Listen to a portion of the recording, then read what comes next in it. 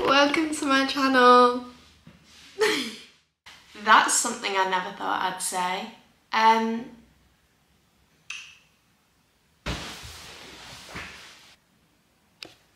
if you don't know me, my name's Erin. I post fashion, fitness, lifestyle and recovery content. I started off posting my recovery journey on my TikTok and then later created an Instagram account to hold me accountable through my recovery from anorexia. And one of my TikToks went viral. I, I didn't have that in mind when I posted it. I was just showing six months of my progress and the response I got, the support, the love, but also people reaching out to me saying how much it helped them, motivated them, and it just made me realise that that's what I wanted to do. I wanted to start a YouTube because I speak a lot and not everyone wants to see that on TikTok or Instagram. So here we are. I thought I'd do a typical Q&A, get to know me. So I asked over on my Instagram some questions that people wanted to know.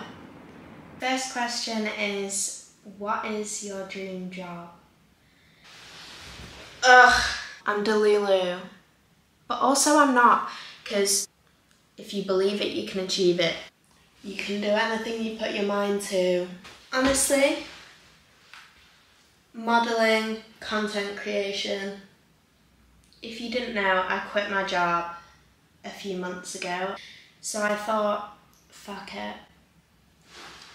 I'm gonna do what I wanna do, which is content creation, modelling, and see what happens, see where it leads me, take on all the opportunities I can, put myself out there, and so far, it's going great. Second question is, how old are you? I'm 18. I either get told I look 26 or 12. There's no in between. What did I want to do when I was younger? I always wanted to be famous. Honestly, when I was younger, I would sit, really exposing myself here, I would sit on a chair in the back corner of my grandparents' dining room and I would write songs. If anyone's heard my singing, you will know how unrealistic that was. And I think that's where my delusions stemmed from. That is part of what makes me me. Boy in your life. Do you want to come in? I'm joking. No. Fave TV shows or books? Favourite TV shows? Stranger Things, Skins, Emily in Paris, Friends and Gilmore Girls are my ultimate comfort shows. If you know me, then you know that I fall asleep to them every single night and I could probably reset, recite both of them word for word. Are you continuing to live at home or are you wanting to move out? And then there's another question that says travel plans. So these kind of fit. I would love to move out. I, I don't know, I just, I love my own space. I would love to live with someone. If anyone wants to move to London with me, let me know. I also want to travel and I don't know whether it's best to travel first or move out and then travel. What made you realise that you didn't want your eating disorder to control you anymore?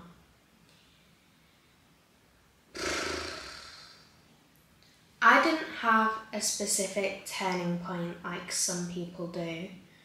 Um, I knew deep down that wasn't how I wanted to live, and I knew that it isn't possible to live with an eating disorder. You, it's impossible. The end result is you die, and not to get deep, but that's the reality of it. And I knew that I wanted to have a future. I just didn't know who I was without the eating disorder, and that's what terrified me because it controlled my life, and I almost I felt I was my eating disorder. And the best thing that I did, I started a new Instagram and I chose to only follow people who inspired me. For example, Anna Archer, Millie G Fit, Live Living Life, Fiona Simpson. Those four girls, honestly, I owe my life to them. That's what motivated me that there was life outside an eating disorder. Do you still train slash gym much? So throughout my recovery journey, I would say the gym probably saved my life. It had such a big role. It enabled me to realize how much food what's the word I'm thinking of? It made me realize that if you fuel your body, how much you are capable of. But I also struggled with a lot of digestive issues throughout my recovery. Another thing that does not get spoken about enough, it's seen as embarrassing. So yeah, this year I took a big break. That's so close. I took a big break from my training to try and figure out what's going on with my stomach. Um, still haven't quite got to the bottom of it. And then also I went on holiday, I enjoyed my summer. I essentially found other things I was interested in. I started socialising again, but the gym is still such a big part of my life. It's my safe space and it's definitely something I want to get more serious about again. What's the best advice you've ever been given? To not care what people think. It's so cliche and it's so much easier said than done, but honestly, something to always keep in mind is the people that judge you for doing what makes you happy aren't the kind of people that you want in your life anyway. And that's something I have to remind myself of every single day. Dream brand to work with.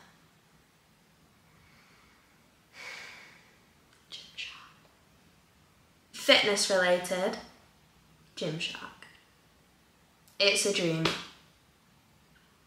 It's been a dream since my recovery journey started, Gymshark commented on the TikTok that went viral and I almost had a heart attack.